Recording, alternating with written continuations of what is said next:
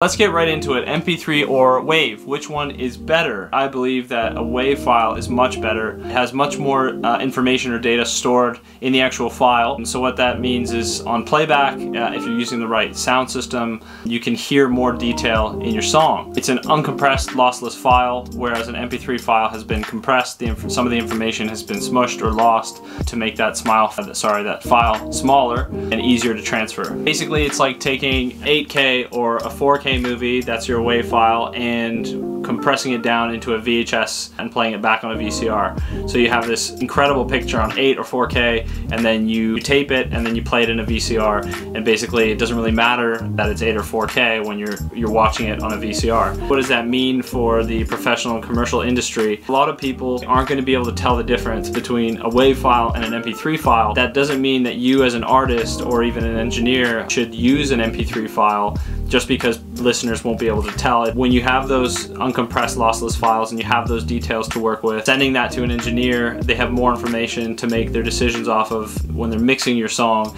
And also when you're sharing your song with uh, professionals, they'll be able to tell, they'll be able to see the difference. So to show you what, what happens to a WAV file when it is converted into an MP3 file, I'm gonna demonstrate for you and you'll be able to hear the difference.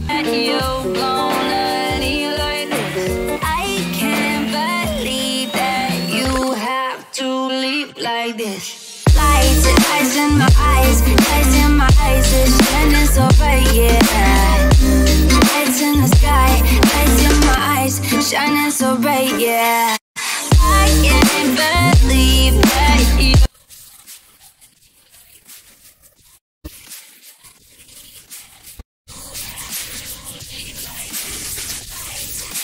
So that's the kind of loss that you'll have when you're playing back WAV files in an MP3 format. Many platforms like Spotify and SoundCloud they'll compress your music, even if it's a WAV file, they'll compress it anyways, just to make the file size smaller. They have their own settings and compressors that minimize any risk that your music might be piercing or whatever sounds are being uploaded are harsh. I still think that means that you should definitely be working with WAV files because those are the lossless uncompressed versions. Can make better, more informed decisions about your music using those files. Same goes for uh, purchasing a beat or recording vocals, I highly, highly recommend recording it all or purchasing it all in WAV format. Uh, now I understand that sometimes it's not possible, it's expensive, but where you can, you should. And finally, I just want to say you should definitely be using WAV files. It's kind of fun, it's part of the craft to be able to tell the difference between an MP3 and a WAV file and know the quality difference, or even when you listen to someone else's work.